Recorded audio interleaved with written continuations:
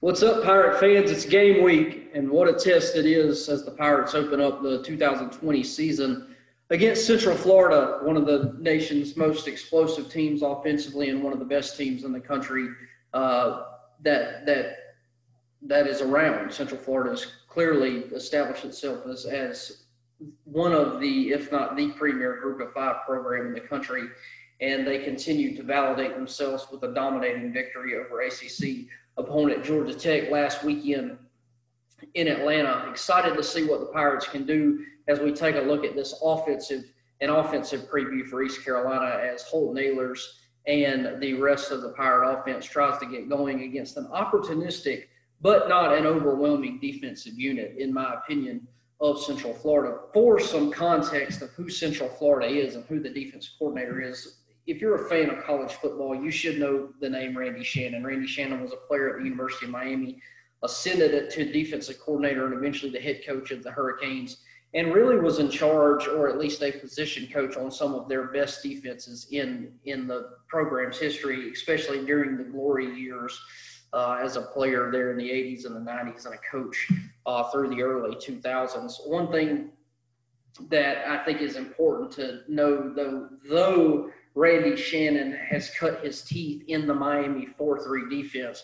Central Florida is a very multiple uh, team defensively. They show a, a, myriad of fronts, they show a myriad of coverages. And what they specialize is probably what has caught my eye more in looking at some of their TV copies from last year and even this year is how much pressure they like to bring in.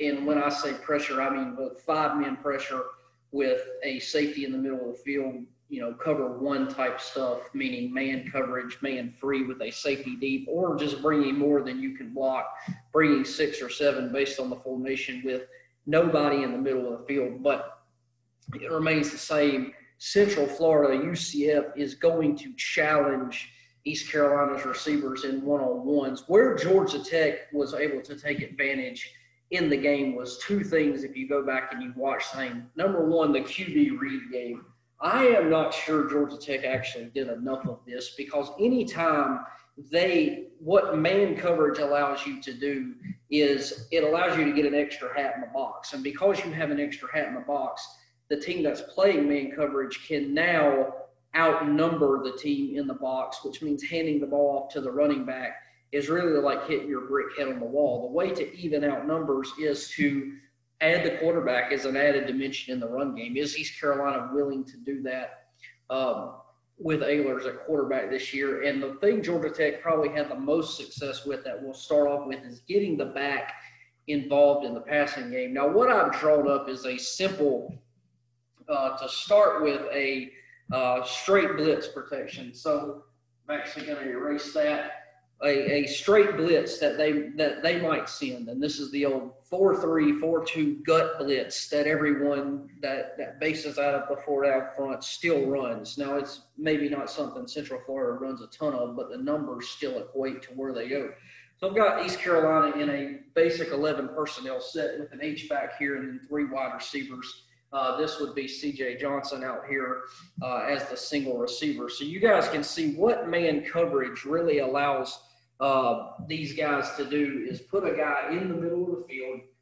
Let's get a little pin up here. Put a guy in the middle of the field and play man free. Well, what happened on Saturday a ton for Georgia Tech is uh, Central Florida UCF lost sight of this back oftentimes on a variety of routes, whether or not it was the T option route where he would break man to man, whether or not they sent him out on a slip screen or if they send him up the pipe on an actual pipe route. Why is this a problem to a man pressure team? Well, the problem is this whenever you bring pressure and you play man coverage, what you tell the guys to the side of the blitz is basically we're going to eat the back up with the blitz on the inside. So if this back runs an option route inside, he's not going to be able to get out because every gap is covered and it's very cloudy. And what you're teaching defensive players, whether or not it's defensive linemen, linebackers, safety, whoever the interior blitzer is, is that we want to eat the back.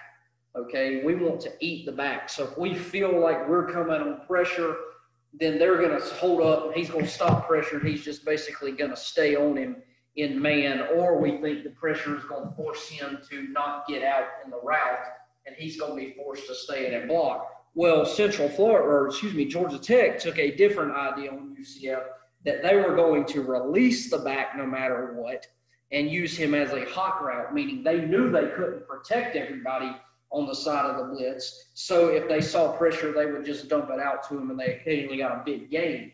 The other thing that you're responsible for doing is that if this back releases outside, whether or not he runs the flat route or he runs the flare, either one, the outside guy then wants to peel with the back. So either way, if the back goes inside, we want to eat him. If he goes outside, we want to peel with him.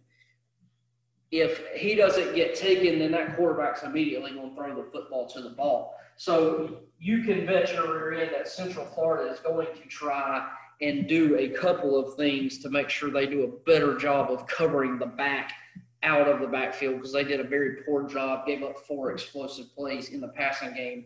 Donnie Kirkpatrick is going to check their oil with guys coming out of the backfield. Now, let's say this guy is not a blitzer at this time. Well, East Carolina can't release the back all game. Sometimes they're going to have to keep him to stay in and protect. Well, there's where the chess match comes. If you stay in and protect and they're still in man coverage, does Central Florida use some guys out here to maybe play a low hole if their guy doesn't come and maybe help out on more of the interior, the slants and the RPOs, or do they do what you call add blitz? By add blitz, what I mean is if he's going to hang out, he's got that back, and when he sees him block, well, now he's coming on what you call an add or a green dog, meaning, okay, my guy's not going out for a route. I'm going to get into the pressure. So there is the chess match of how one team will attack the other one in the passing game. Central Florida is going to bring pressure. Does East Carolina have the ability to A, win the one on one matchups out wide, or two, be able to get some explosive plays to the inside, to the backs, and to the H backs, whatever, coming out of the backfield because UCF did not do a very good job handling Georgia Tech out of that. The other thing is the quarterback run game. We mentioned what man coverage allows you to do. Man coverage absolutely allows you to plus go plus one in the box. So let's put that same formation up here. If Central Florida wants to get into a situation, I'm, I'm not trying to offend Central Florida or UCF by calling them Central Florida. That's what they were when I was in school, so I'm calling them that. UCF if they want to get into man coverage, they'll get in a situation where they lock up outside on these three guys with the two corners and the nickel slash Sam linebacker. And then we will insert a safety into the box against the fourth eligible receiver, whether or not that's an H back or if they put another receiver out here, he would be out here so if you get a six-man core, when I say six-man core here, I'm talking about the five offensive linemen and the H-back, then UCF playing man is going to be able to get a seventh man in the box. So let's say now we've moved the strong safety, the Mike, and the Will inside. I don't care what the front is, whether or not it's a four down or a three down with the stand up. It doesn't really matter. The bottom line is Donnie Kirkpatrick they're going to get a ton of man coverage, is going to have to deal with the concept that they've got seven over my six guys that can block. So there's only six blockers that can get there for the back. Well, to equate the numbers, put the other free safety in the middle of the field.